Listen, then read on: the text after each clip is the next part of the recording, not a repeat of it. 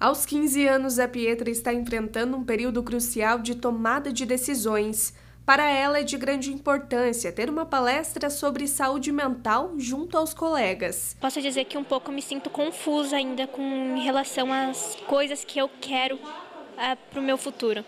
Ainda não decidi o que, que eu vou fazer no ensino médio, então ainda está bem confuso.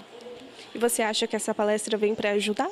Veio eu acho que foi muito importante terem vindo falar sobre, porque eu já faço terapia, então já ajuda bastante. O grupo do Interact Clube Pato Branco Vila Nova escolheu o Colégio Estadual de Pato Branco como local para desenvolver um projeto com os alunos do nono ano da instituição. Esse é um projeto que a gente desenvolveu no nosso clube sobre saúde mental. A gente contou com a presença de uma psicóloga e vai ser uma roda de conversa com os alunos, uma dinâmica para conversar com eles a respeito de assuntos que envolvem a adolescência. Como um projeto que foi proposto para a gente, para o Interact, é, a saúde mental é um tema que é muito importante hoje em dia e como a gente queria trabalhar com as turmas da escola, a gente achou que seria um tema muito importante e que valeria bastante para os alunos. O Interact Club une jovens de 12 a 18 anos de idade justamente para desenvolver habilidades de liderança e também descobrir a força do lema: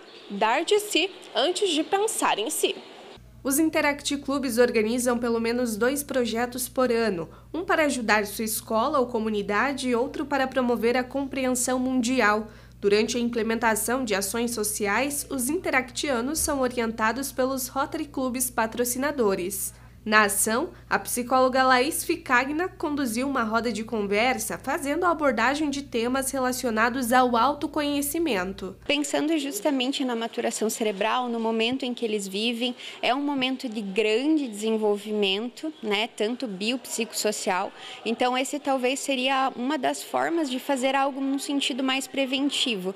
Depois acaba sendo mais para colher danos, de certa forma, e na adolescência é o melhor momento para se pensar numa prevenção, para se pensar numa construção mais significativa, de certa forma. De acordo com a presidente do Interact Clube Pato Branco Vila Nova, além desta ação, uma outra está programada para esta sexta-feira. A gente vai começar uma arrecadação de lixo eletrônico. Se você tiver interesse, você pode levar o lixo é, lá na FURP, Fundação da Unidade Rotária de Pato Branco, é próximo ao Clube Pinheiros. E também outros projetos a gente vai divulgar no nosso Instagram, se vocês quiserem dar uma olhada, e vai estar tudo por lá.